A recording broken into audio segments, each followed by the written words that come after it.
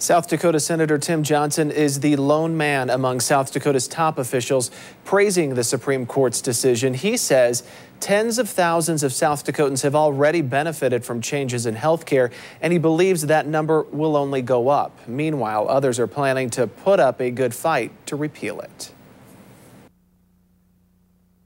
An estimated 105,000 people in South Dakota do not have health insurance. That figure comes from the federal government, but it could change by 2014 if the law praised by Senator Tim Johnson takes effect. I have always believed health care reform was constitutional. Critically, the Supreme Court upheld the individual mandate.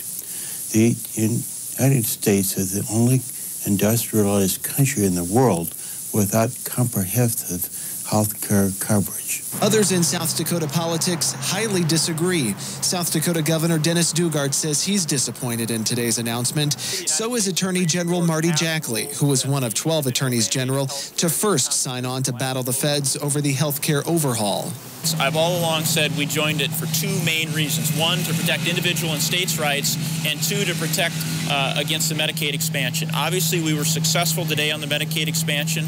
We had hoped for a better result on individual rights. Representative Kristi Noem says she's voted numerous times to repeal and defund the law.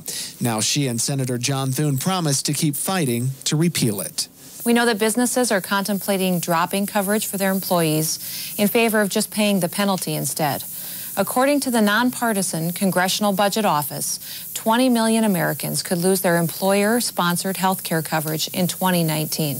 Interesting and ironic in many respects that what they found to make it constitutional was the fact that the individual mandate was a tax, something that the President of the United States made it abundantly clear, uh, in his words, absolutely clear, that this is not a tax uh, when they were trying to pass this. If the American people had known that this was going to be a big tax, I think they might have, it might have been a very different vote uh, when it went through the, the House and the Senate two and a half years ago.